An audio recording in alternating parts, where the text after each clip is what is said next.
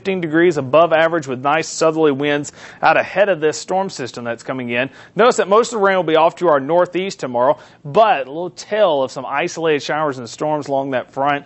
Back behind there, excuse me, temperatures will be dipping back down into the 70s as high pressure starts to rule our weather. So tonight's forecast 64 degrees, a few clouds out there, patchy fog, light winds as we go through the day tomorrow, 90 degrees, clouds increase, a few late day scattered showers and thunderstorms, rain chances very low. Excuse me. Gonna make it? I don't think I'm going to make it. 20% chance of a nice isolated storm on Thursday, and then uh, a little cool down for Thursday and Friday. And that's it. Voice is gone. Go get a lozenge. Ryan, thanks. We'll be right back after this.